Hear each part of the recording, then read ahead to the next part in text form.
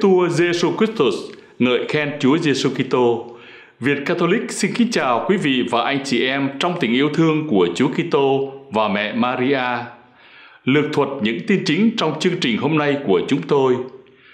Nơi bàn thờ trên mộ của Thánh Francisco ở Assisi, Đức Thánh Cha đã ký tông thư Fratelli Tutti, mọi người là anh em. Đức Hồng Y Taylor mời gọi mùa tạo dựng một ơn gọi để làm sống lại ơn gọi quản lý vũ hoàn của chúng ta. Đức Thánh Cha nói về các cuộc thánh du Đức Mẹ, mẹ Maria ôm ấp tất cả chúng ta. Đức Thánh Cha công bố chủ đề cho Ngày Thế giới Truyền thông năm 2021 là Hãy đến mà xem. Sau đây là phần tin chi tiết của chúng tôi.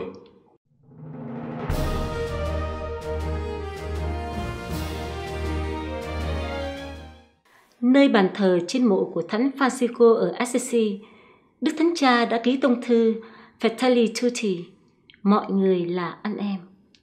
Đúng ngày kỷ niệm Thánh Francisco Assisi qua đời, Đức Thánh Cha Francisco đã cử hành thánh lễ trên mộ của Thánh và ký tông thư Fratelli Tutti. Thứ Bảy, mùng 3 tháng 10 năm 2020, Đức Thánh Cha Francisco đã đến Assisi. Đây là lần thăm viếng thứ năm của Đức Thánh Cha Tại đây, Ngài đã ký tông thư Fratelli Tutti, có nghĩa là mọi người là anh em. Trên mộ của Thánh Francisco Assisi, sau khi cử hành thánh lễ kính thánh nhân. Tông thư Fratelli Tutti nói về tình huynh đệ và tình bạn mà Đức Thánh Cha có được từ cảm hứng về Thánh Francisco, cũng như tông huấn thứ hai của Ngài là Laudato Si, về việc chăm sóc ngôi nhà chung của chúng ta được công bố vào 5 năm trước đây. Đức Thánh Cha đến Assisi bằng xe.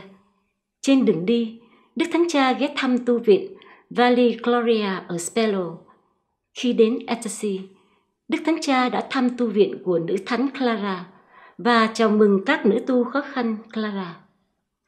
Chào đón Đức Thánh Cha Francisco đến Assisi có các giám mục ở Assisi là Đức cha Nicola Umbra, Gado Tadano, Domenico Sorrentino, Đức Hồng Y Agostino Vanini, cai quản Vương cung Thánh đường Thánh Francisco và Đức Maria, nữ vương các thiên thần ở SCC, cha Magro Gambatti, bề trên tu viện dòng Francisco, còn được gọi là tu viện Sacro và cha Enzo Fortunato phát ngôn viên của dòng Francisco.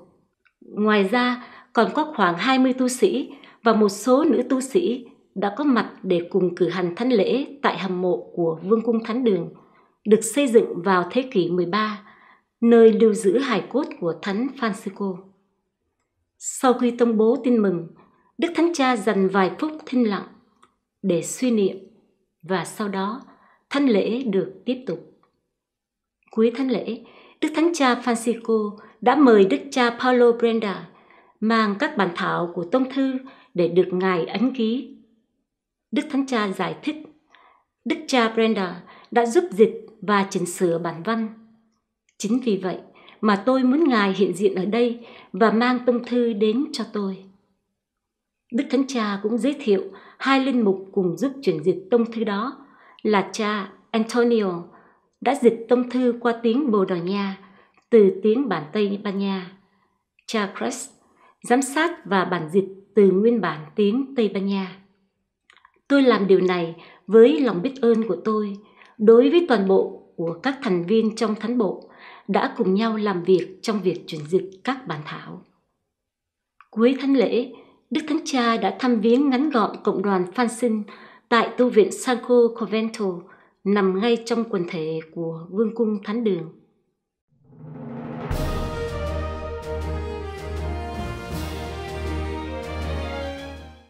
Đức Thánh Cha nói về các cuộc thánh du Đức Mẹ.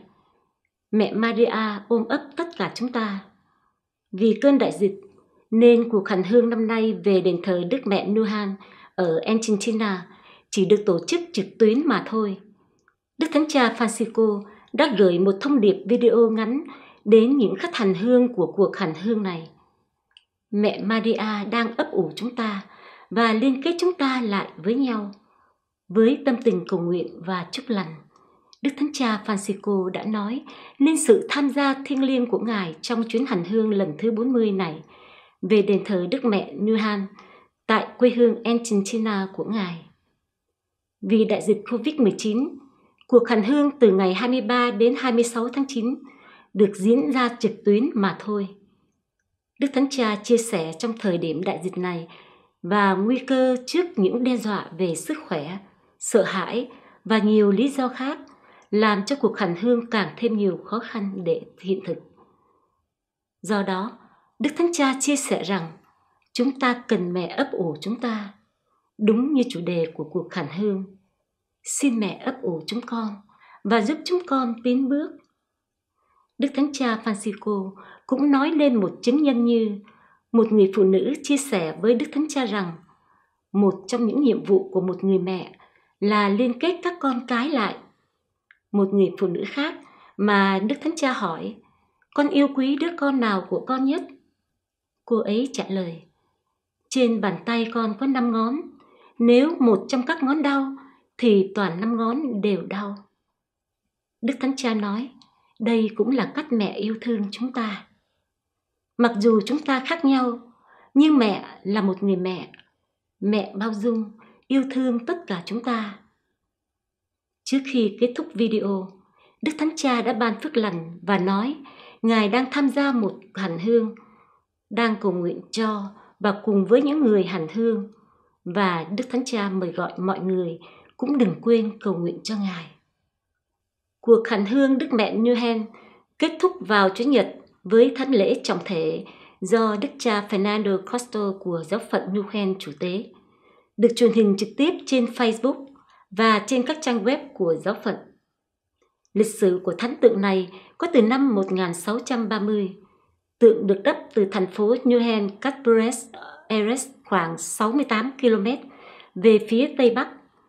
Ngày 8 tháng 9 năm 1930, Đức Thánh Cha Pius XI đã chính thức công bố Đức Mẹ Johann là đấng bảo trợ của các nước như Argentina, Paraguay và Uruguay. Thánh giáo hoàng John Paul đệ nhị là vị giáo hoàng đầu tiên đến thăm viếng đền thờ Đức Mẹ vào năm 1982. Trong thánh lễ ngoài trời tại quảng trường của Vương cung Thánh Đường vào ngày 11 tháng 6, Ngài đã tặng cho Thánh tượng mẹ Luhen một bông hồng bằng vàng.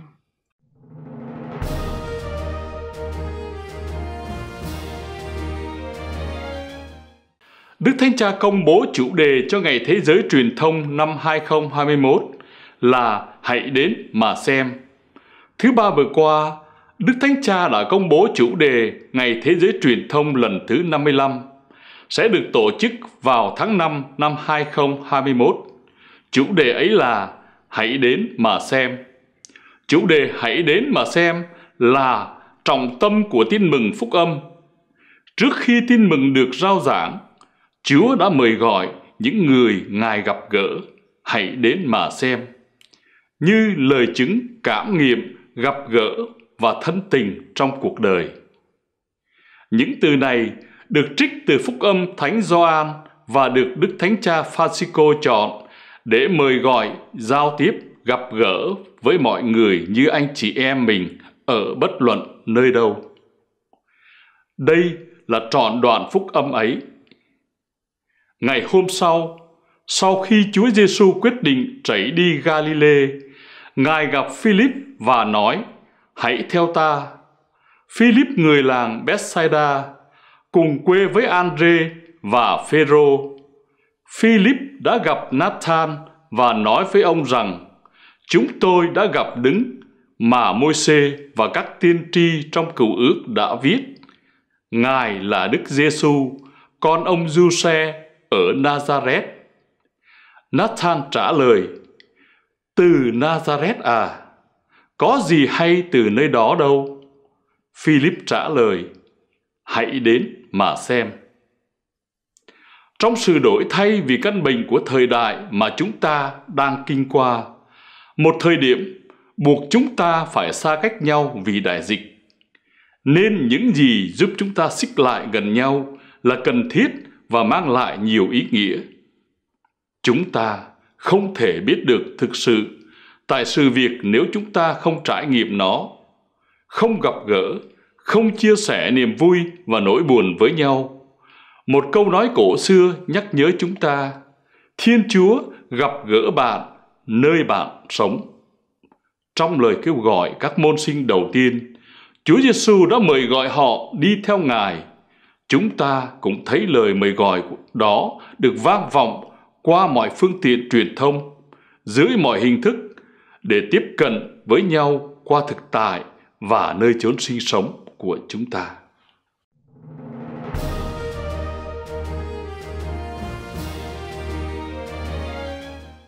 Chương trình của chúng tôi đến đây là hết.